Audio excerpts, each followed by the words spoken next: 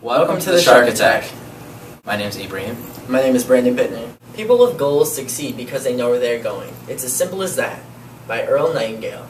Please do not bring valuable items to school. We do not have the resources to fully investigate theft. Should an item be stolen, which is rare but recent, please report the theft as soon as you are aware. We will help if we can, but if the report is delayed, there is little we can do. you. I'm on some dumb shit. Come through and check him in my automobile. Let him eat it with his grills. He keep telling me to chill. The way that I ball out, I be getting money, time fall out. You talking cash, dog, I goes all out. Shorty love the way that I flow out. Free greasy them, let all of my dogs out. But I can shake it, shake it like I'm supposed to do.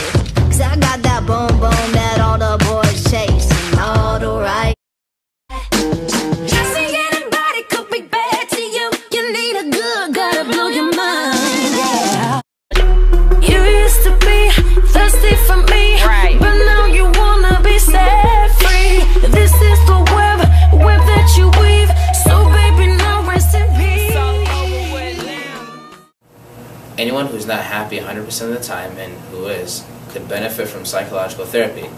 Salars and Associates Counseling and Therapy Services has master's level college interns that are supervised by licensed therapists through Salars and Associates located in our location. The sessions can take place during independent study, E2020 classes, during lunch, before or after school. Sessions will be here at Starkweather and again, free of charge. I do want to be clear that these interns are not affiliated with Plymouth Canton Schools, but a service offered by Solars and Associates to give additional and convenient support to start with the students. If you are interested, please contact Mr. Lane or, or pick up a form in the office. Attendance policy reminder. Any student with over 10 absences will be dropped from that class and will be assigned to ISS for that class period. If there is an unavoidable reason that a student has a high number of absences and they have been doing makeup work to catch up, you must contact Mr. Medlock before you reach 10 absences to have an exception to the 10 absent policy. Drops will be starting this week.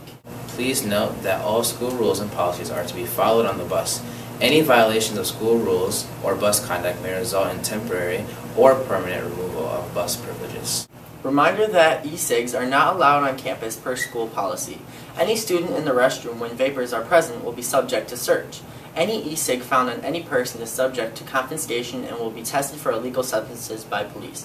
Failure to comply could result in suspension up to 10 days from school and possible expulsion. If you walk into the bathroom and see vapor, walk out and notify security or the office before continuing in. You will be able to go in as soon as staff notes the time. Staff then can check security cameras to see who was in the bathroom prior to your use. Many teens in the area have been hospitalized and potential brain damage associated after using e-cigs with dangerous substances, sometimes unknown to the user. If you did not have 80% or higher in all your classes, any students who meet the criteria for open campus can apply at any time. Applications are available. Criteria will be or has been reviewed in seminar. Students must have an 80% or higher in all classes. No behavior referrals or unexcused absences.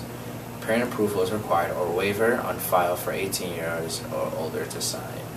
Students who came to scheduled pickup and have paperwork completed or can bring in needed paperwork can pick up IDs between class at lunch, before or after school. Directions for all other students will be distributed in one or two weeks. Please note that the cameras in the building are working and surveillance is being saved throughout the school day.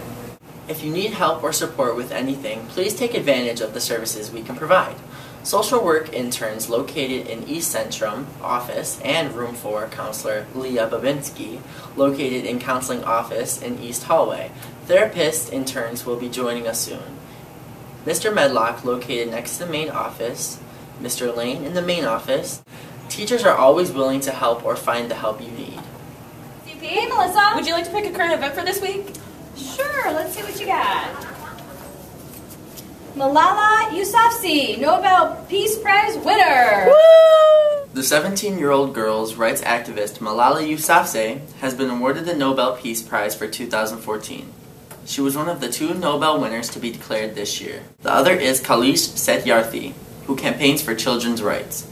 Malala was given the accolade exactly two years and a day after the Taliban gunman shot her in the head on the school bus. Following her recovery in a British hospital, Malala has toured the world, speaking up for the rights for girls to receive an education. She once told reporters that going to school is like walking through a magic door to your dreams.